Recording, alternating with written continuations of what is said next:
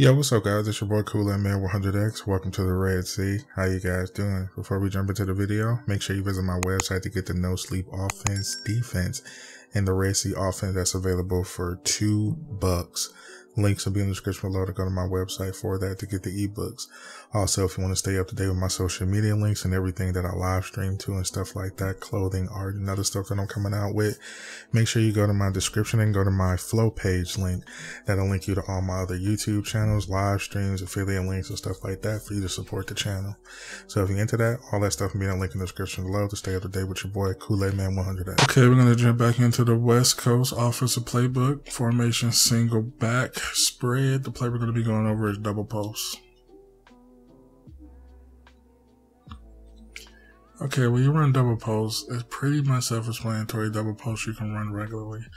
Only thing I would do is take the hitch routes off so you can open up the post a little bit more better. So when a post come inside, you'll be able to hit them exactly in the middle because these post routes are unique. Sometimes they can be defended like that.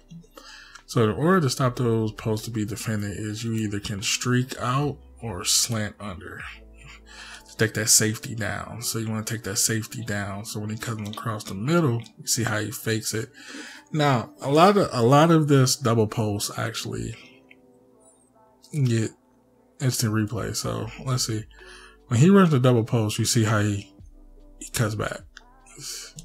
So a lot of double posts got those fake double posts underneath. So what I like to do is either streak both of my receivers. So the reason why I streak them because now you can see that post actually running a little bit more across the middle of the field. Now they gotta defend both. So you can either streak these receivers to open up those posts, but either or to make those post routes actually work efficiently, they gotta go underneath those routes, as you see there. Cause the safety gotta be able to guard under. So as you see here, when he runs the post now, when he runs underneath, now he got to go through three receivers, see how he ducks back to guard that safety. So now he can't get a play on the ball like he's supposed to. Same instance as you run it underneath, you can do the same thing. So, or to get those posts to work, you have to either streak them or slant them, or you know anything going across the middle of the field to take the safeties under. So be mindful of that when you try to just throw underneath those posts. So at that instance, he's guarding it. So don't force it. Uh, what I like to do in a double post too is actually put them in post. a lot of people don't know that. put them in actual post and do a double slant underneath. This is a nice adjustment play because it gives the free safeties and safety to understand what a one play touchdown is. So you actually split in both of the receivers and the slants in the slots. So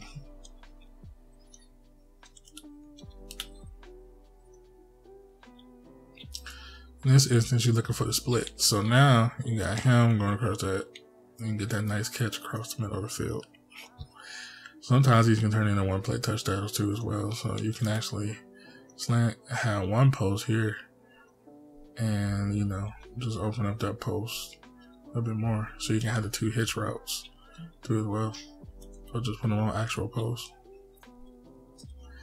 So taking the, uh, granted that the two posts are powerful to do.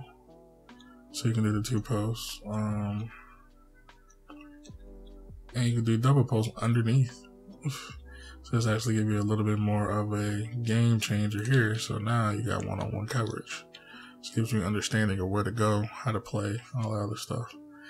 So be mindful how to run these posts. So definitely be mindful because you can run one post on a double post and have a drag and leave that post underneath as well. So that gives you a one play touchdown too as well. So, so you see here actually opens up sampling a little bit more, but I bullet past that. See if I can get a long throw for you guys. Got this play here. and drag. So I'm gonna pass the up Get a nice little touch pass. And you see here, this actually opens up Sam a little bit more. Touchdown. So you can turn those into one play touchdown. So, I hope you enjoyed the play. I'm out of here, guys. Deuces.